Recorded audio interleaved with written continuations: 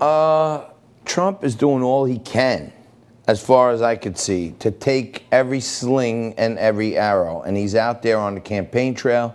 He's hitting three cities in a day. In between, he's signing a huge peace treaty between Israel and Bahrain, United Arab Emirates. Uh, the things he's doing right now are absolutely crazy. He doesn't get not a sliver of positivity, not one sliver of positivity.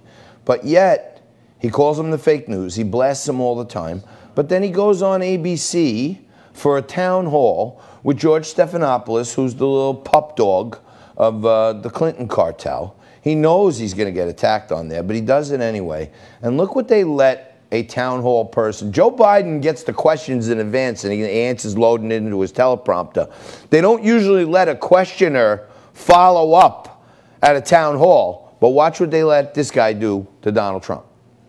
Not been seeing uh, a change uh, quite frankly, under your administration, under the Obama's administration, under the Bush, under the Clinton, the very same things happen and the very same systems and cycles continue to, to continue to ensue. And we need to see, because uh, you say again, we need to see when was that great because that pushes us back to a time in which we cannot identify with such greatness. And I mean, you've said everything else about choking and everything else, but you have yet to address and acknowledge okay. that there's been a race problem in America. So if you go, well, I hope there's not a race problem. I can tell you there's none with me because I have great respect for all races, for everybody. This country is great because of it. But when you go back six months and you take a look at what was happening, you can't even compare that with past administrations. When you look at income levels and a lot of things because of the job situation where they had the lowest income, the best, the best unemployment numbers they've ever had, the black community by far. And that was solving a lot of problems. And you know what else it was? It was bringing people together. I was starting to get, just before this was, you know, we were having a long run of success. I was starting to get calls from Democrats that, hey, it's starting to work. Let's get together. People that you would never have thought this would have happened with.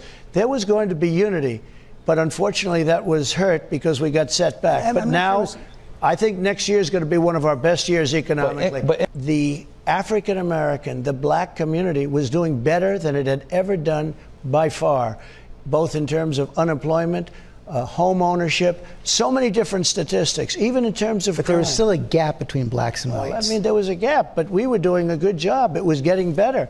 And then it was artificially shut down by this disease that came onto our land. And the guy follows up like he's a like he's a TV commentator or something. And I haven't seen you do anything. I haven't seen this, that, the other thing. Like, I got to give this guy Trump a lot of credit. And maybe that's why I'm wearing this jacket today because, you know, I, the guy needs support wherever he can get it because every single day he's under full onslaught attack by the left.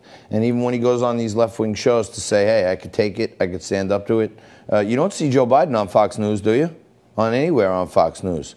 But you see him limping out there to a Latinos for Biden uh, rally and playing Despacito, his theme song, for the man who is. Uh, I would say the Democratic Party, he's uh, killing me softly um, because he is just dying a slow death as a candidate right in front of our eyes. So maybe Despacito is the right song for him because it's happening slowly. But uh, the election cycle is uh, certainly speeding up, and uh, nobody knows what's happening out in California where all the flames are burning better than Omar Navarro, who's going to talk about that next.